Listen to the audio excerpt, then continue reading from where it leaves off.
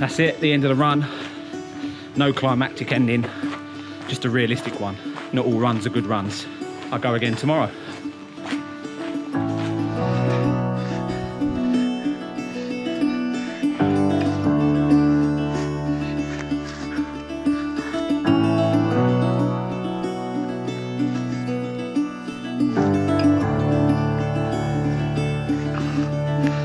This route is a huge mistake. It's massively overgrown. I haven't run this route for about six or seven months. And the last time I did it, it was overgrown, but not like this. I'm walking through brambles and nettles. This is the route that when I first attempted it, I couldn't run. But I'm through now. That's it.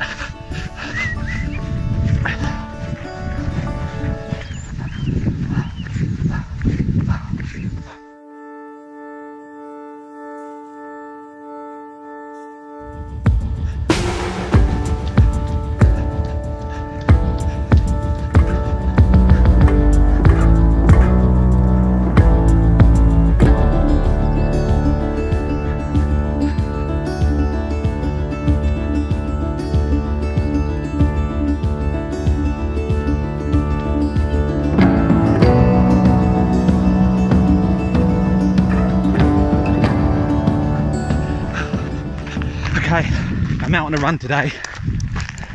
Um, I'm not sure how far I'm going to go. I'm just over two miles in at the moment. It's a really hot day today.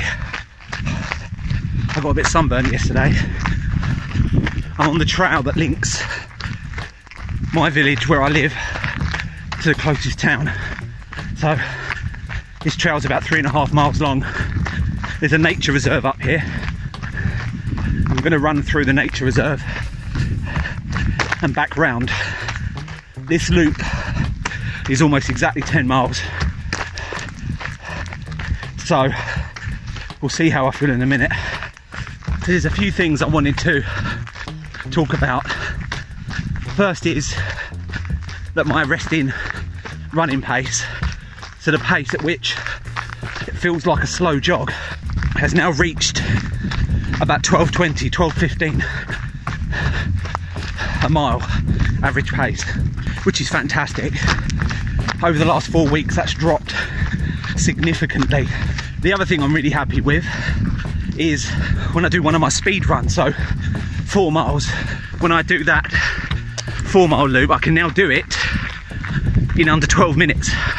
So the whole thing I can do in 11 about 11 40 11 50 I did do a mile and a half at 11 minutes. But that was going some that felt like me sprinting. I know 11 minutes isn't fast but for me to be able to run any distance at approximately 11 minutes is phenomenal. I couldn't sustain it for longer than 1.4 miles. I can sustain now. 12 minutes 20 average pace over long distance so we're at the nature reserve now. Look how pretty this is. How lucky am I to have something so more like on my doorstep. This is only three miles from my front door.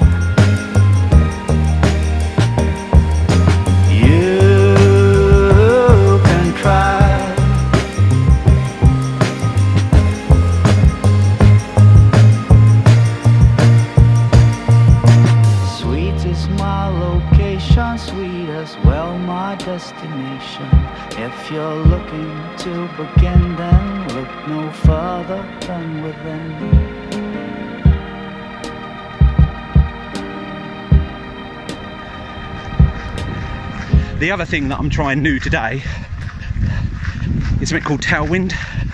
Tailwind is an endurance food supplement powder energy drink thing that everyone raves about. I've just stopped just for one minute to talk on camera. The Tailwind is a food replacement energy drink. I tried it once before and it didn't really work out. Um, so this is the second time that I'm going to be using what I have used Tailwind. I'm not a fan of it. I'm not a huge fan. It's made me feel. It did it last time. It made me feel really nauseous. So I don't eat sweets, chocolate, um, anything like that, really. And it does feel like I've just eaten a bag of Haribo. So I need to get used to it because I also can't eat and then go for a run. Obviously, not not immediately, but a lot of people consume food and then an hour or two later go for a run, and it really makes me feel uncomfortable as well. So I need something to give me the energy in the day for these runs, which is why I end up running either early in the morning before I eat breakfast or mid-afternoon after I've had breakfast and it's been plenty of time to digest it. I'm going to try a few other options because, as I say, I'm not a huge fan. But we'll see how it goes. I've only used it twice.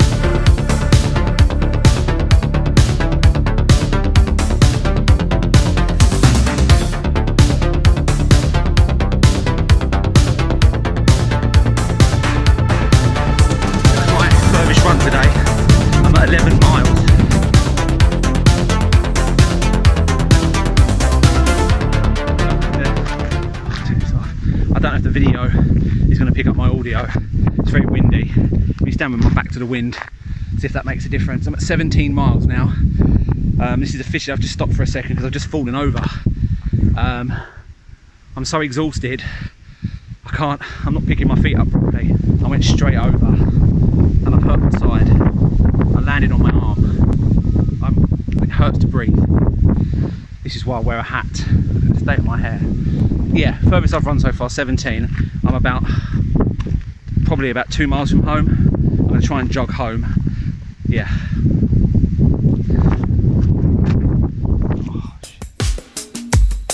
Oh, deja vu.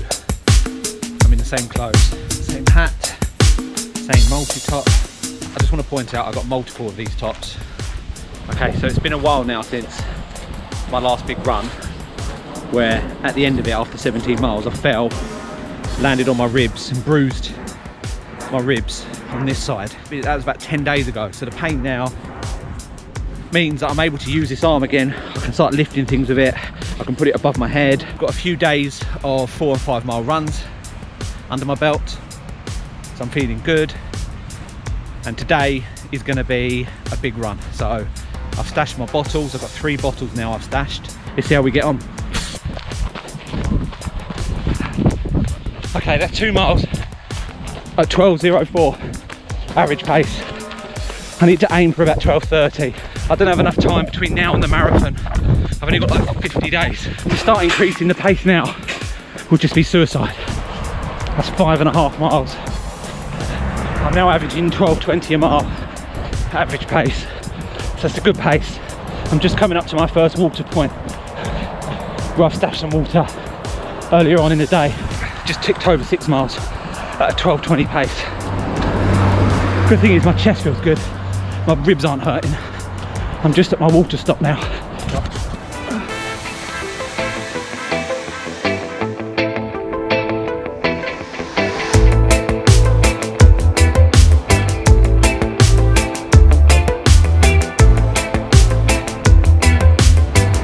And that's 10 miles.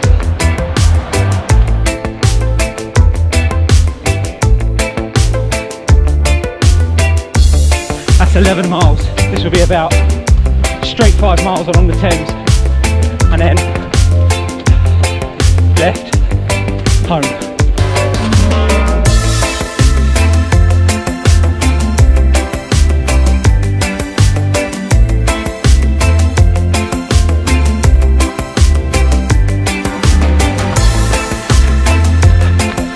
That's 13 miles.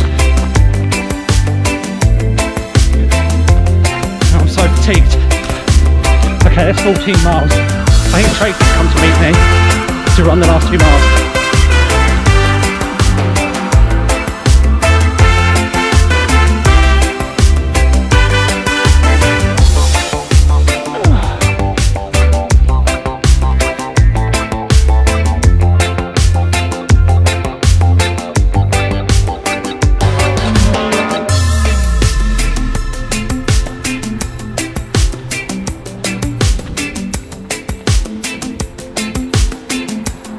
So that's it. That's the end of the run, 16 miles at a steady 12.44 pace. I'm very happy with that pace because I maintained it That's the fastest I've ever run 10 miles as well. That's the fastest I've ever run 16 miles. Are you happy with that for me? Yeah. Yeah. Have you got anything you want to say? Like what? Quickly, say something inspirational. There's a pub full of people. Um, I can't think of anything. Quick, there's people coming. Oh, it's super awesome, super fast. Well done. Thank you.